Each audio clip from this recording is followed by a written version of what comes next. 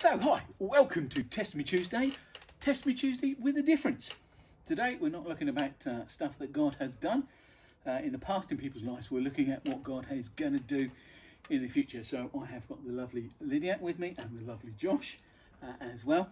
And they're just going to share a little bit about what they feel God's calling them to. So, Lydia, from September, will you be living in Worthing or will you be elsewhere? And if so, why?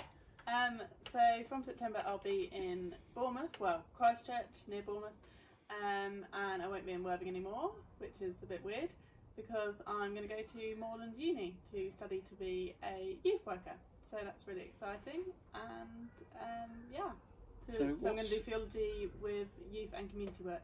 So, what's prompted the massive change of uh, life direction? I think it's been a whole um, big process, really. Obviously, me and Josh have been doing the youth stuff and the kids stuff for the past few years um, at New Life, and it was just God kind of always saying there's something next.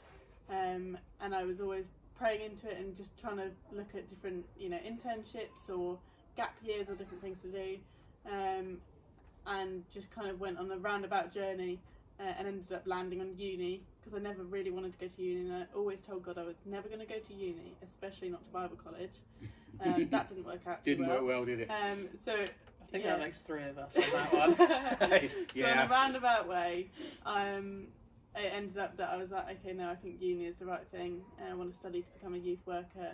Uh, you know, realised that my heart grew for it and that I had a passion for youth work uh, and just seeing young people changed by Jesus. So I was like, yeah, youth work is what it's going to be. And Moorlands just felt like the right place. It all fitted in really well and uh, just felt like it was exactly the right place for me. Brilliant, brilliant. And you, Josh? Uh, come September, uh, we haven't got any quite got concrete plans. What we what we hoping the plan will be? we, we don't even have, have brittle rock plans. um, it, it could all change within a week, but at the moment it looks like I'm going to be London based by the looks of it. Uh, at some kind of either an internship or a placement with some kind of course at the same time at Spurgeon's, and the course depending on whether I'm at a placement or an internship. Um, so it's all of it up in the air at the moment. Uh, MRC said yes, they see a calling uh, on my life to the Baptist ministry, but they want me to get more experience. So So ultimately, you want to uh, become a minister. So this is the kind of the first steps going towards uh, becoming a minister. Yeah, they want some experience outside of you. So a bit like question to Lydia. What, what prompted that then?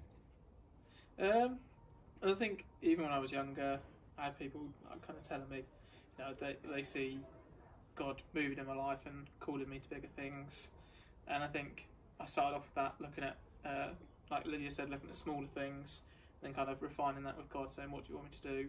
I was on looking at an internship at Portsmouth. Some of you may remember or know, and that fell through. And after that, I was kind of going, "Well, actually, if that's not it, God, what are you wanting me to do?" And then we moved on to ministry, um, and I kind of had went through the process of not feeling good enough or feeling too young, and uh, kind of every time every time I told someone about it, they were just like, "Yeah, I've been thinking that for a while," and it just kind of slunk, so slowly sunk in, and I slowly came to the realization, actually, yeah, this is what God wants to do, and yes, I may not be good enough, and I may not be, I may be too young now, but actually. That doesn't matter because Yeah. it's God that's going to equip me and God that's going to use me. I'm just being the vessel for God. Um, And then the hope is that you start Bible college in a year's time. yeah, that is that is the hope. And again, and so your three years training. Yeah. So after you've done your year to get a bit more experience, your three years training.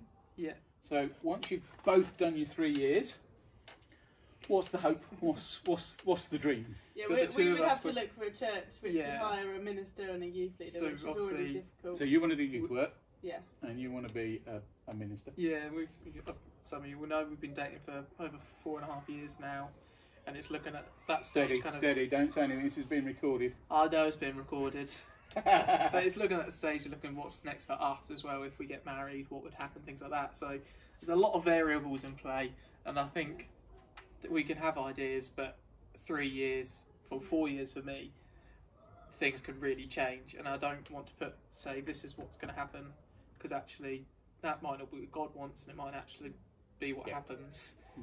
Like, I, I learned from a young age growing up with a dad as a pastor. You don't set your sights on Yeah. technically what the world views as stability, because because actually we would I will never have that world's view of stability. Yeah. Hmm. But actually through God I'll have a much better stability. That that's what I need to. I did a talk on it with the youth a while back, saying actually what do you pin your hopes on? And I asked them. I said, when you look at the future, what do you hope for?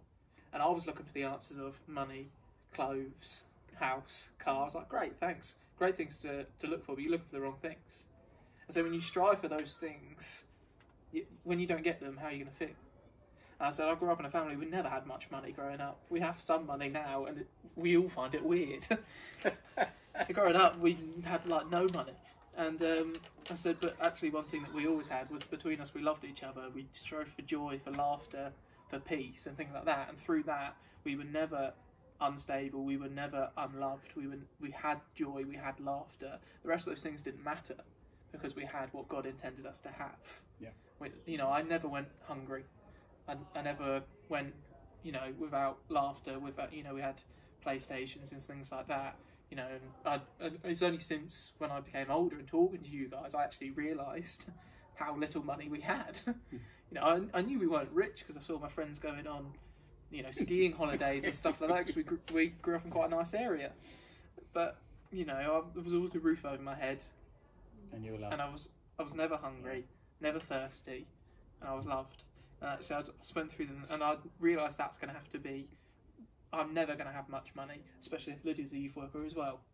You know, I think for both of us, it's just that you know, it's it's that here I am, send me moment. At, at the end of uni, that's where we'll be. We'll be like, send us wherever Yeah. you want us. For me, I'd love to come back to Worthing because I've lived here all my life. It's like a place that I've got, like you know, a town that I've got a heart for.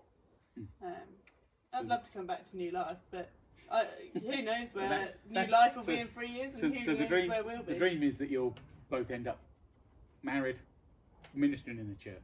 Yeah. So, so you're kind of expecting God to open all sorts of doors for you in the next three years. So, Yeah. as we come to the end of our, our time together, just one question each, same question, uh, and it's for for our several million viewers that we have, which is about fifteen now, I think. Um, if if somebody feels that, that God's calling them to do something, what would you say to them? What what what quick bit of advice would you give to them? don't presume you're right. I mean, uh, we've both talked about things that we were looking at before, and I went through for something and it didn't work out, and I'd have hurt and disappointed. And you had the same when you were younger as well. And actually, you've got to talk to people, you've got to pray about it, you've got other people to pray about it, because actually, it's a serious matter, and you could end up, you know, there's people that have strove their lives on mission for God, mm-hmm. and they've never achieved anything because they were in the wrong place. So yours Actually, is don't trust. God has amazing things for you, but you know sometimes it can be your own desires. So make sure you Yeah. you check and test it. And Lydia, Yeah, I think I'd say just trust the whole process. Trust that actually, throughout the whole thing, God's literally walking with you through, through everything you're going through. And every little thing, whether it's good or bad, that you go through is moulding you into who God wants you to be, and it will help you and equip you for what God wants you to do. Um, you know, yeah, we did like, uh, you know, apply for things, or we were looking at different things, and it's not wrong to do that. It's good to keep your options open and look at all the different things um, and actually it's might even be God's plan that you do apply for something else or look at something else and actually it falls through because then you would have you know found just a, a better way of searching for whatever else it is that you need to do um, yeah just trust the whole process and Mm. trust God throughout the whole thing as well great. Well, thank you both for your time. That's a another Testimony Tuesday, one with a bit of a difference. And uh, depending on when we post this, we may see you next week. God bless. Bye.